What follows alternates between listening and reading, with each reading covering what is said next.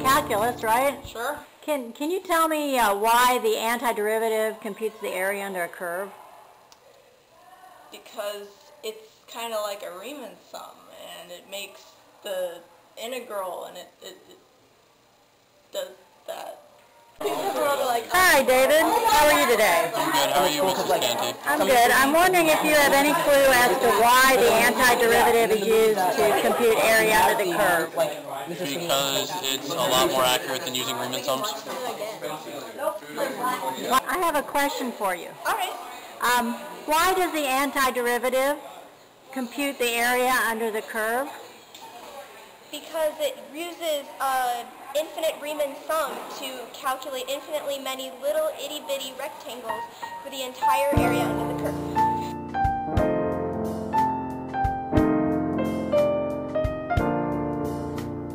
to find the area under the curve of a rectangular function. This is your function. Set up an integral from a to b, and if f's positive, the area will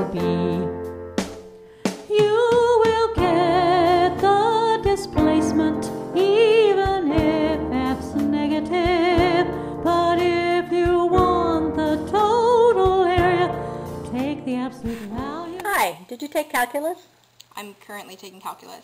Do you know why the antiderivative can be used to compute the area under a curve? Yes, I do.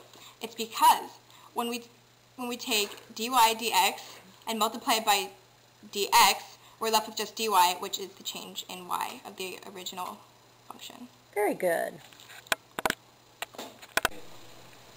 Hey, Chi, Hey, what are you going to explain to us today? uh, why the antiderivative of x gives you the area underneath the curve. Cool. Okay, you have a function, let's say, so I guess this gives you the values of prime of x, is so antiderivative function, whatever, and then if you find the area under this curve, then uh, f prime of x is- can be also re- can also be represented as dy dx, and then this change in this width is dx, which is just the y value. Change in the y value. Yeah, change in y value.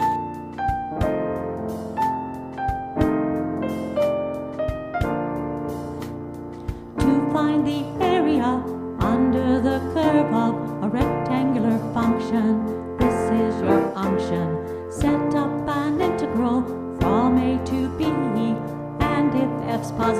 the area twill be.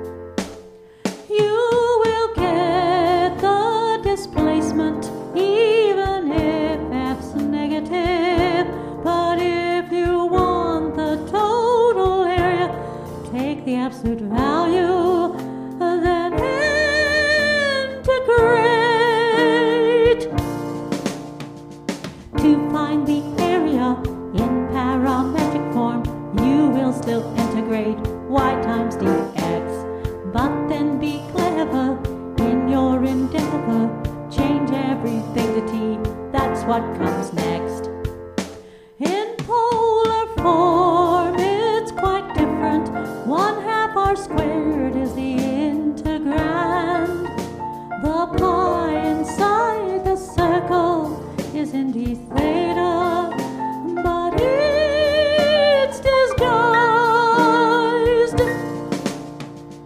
to find the area under the curve